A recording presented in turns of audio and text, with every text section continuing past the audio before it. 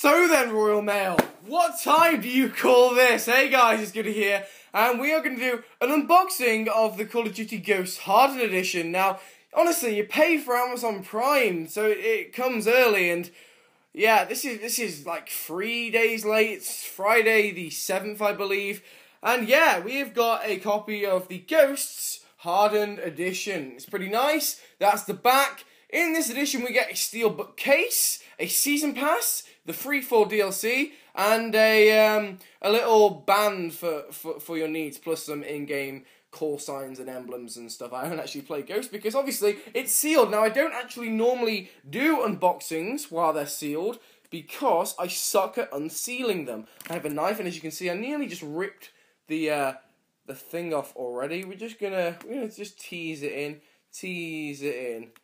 And uh, yeah, you will not believe my relief that I had this morning when my mum went, "Oh, something's come!" Because um, the postman came like yesterday with a big box, and that was that was for my mum because she ordered something. I was like, "Fucking hell!" So it was it was not fun. I, I I've been literally sitting by my my, my post box for, for for quite a while, but here it is. This is the Ghosts Hardened Edition. Uh, the only difference between this and the Prestige Edition, of course, is the full 1080p HD like face cam, which is gonna take GoPro out of business. Haha, lol. But yeah, this is Xbox 360 Hardened Edition of Ghost. It comes with a plastic little sleeve that's kind of like vacuumed onto this cardboard. It's, it's quite hard to get off, and I don't want to break it, so I'm just gonna chuck that over there. And um, it looks like it opens up. Oh, that oh, that's really, it's actually really, really nice. It's got the uh, the Ghost emblem there, the two stuff, including the steelbook case inside. We, we might go ahead and open that. Depends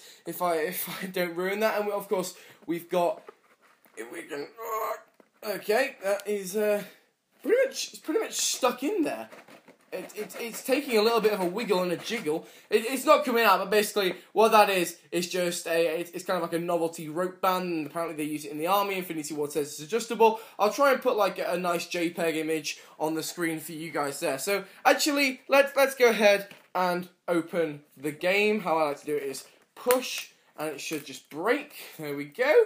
And opening it up, we've got some. Uh, warranty information, I assume. We've got a season pass there. We've got the DLC Ghost uh, Freefall map add-on and the two discs because one is in install and one is a uh, the actual actual game disc itself. So there we go. That is uh, Call of Duty Ghost. Just before I do go, I would like to just kind of bring up some other additions. So this is the Modern Warfare 2. They've kind of, I did actually, I loved these plastic sleeves they give us. I really did like that. It, it was annoying when the Modern Warfare 3 one and then Black Ops followed its footsteps and went into a cardboard thing. It, it just it seems to get more dirty and, and more damaged. But um, I do like to actually compare, actually, actually a lot. I, I like to compare what editions kind of suit which. I'm gonna I'm gonna um, compare this one to the Call of Duty World at War hardened or collector's edition because it's just kind of the same size. Uh, so yeah, let's let's just uh, let's get the two plastic sleeves.